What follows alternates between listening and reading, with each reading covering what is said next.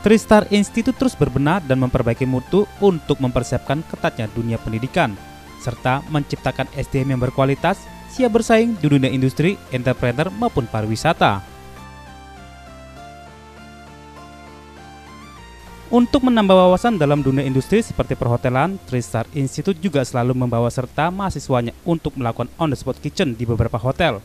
Seperti yang kita lihat saat ini, mahasiswa Tristar Institute dari kelas Tata Boga praktek secara langsung cara membuat menu prasmanan dengan tema Chinese food di Hotel Bidakara Fanci Tunjungan Jalan Tegal Sari nomor 77 hingga 85 Surabaya. Tujuan itu semua adalah agar Tristar Institute dapat menciptakan SDM yang berkualitas dan siap bersaing dalam dunia industri, entrepreneur, maupun pariwisata. Di akhir kuliah, mahasiswa yang praktek secara langsung mencoba hidangan yang mereka buat sendiri, sekaligus menjadi bahan evaluasi bagi mahasiswa itu sendiri. Jadi yang pertama saya ucapkan terima kasih atas kunjungan dari teman-teman dari adik-adik ini ya Tristar ini.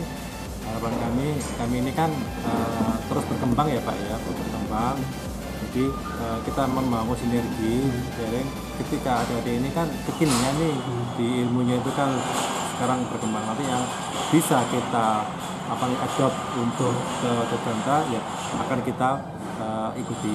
Sampai jumpa pada pertemuan-pertemuan berikutnya bersama kami Tristar Institute.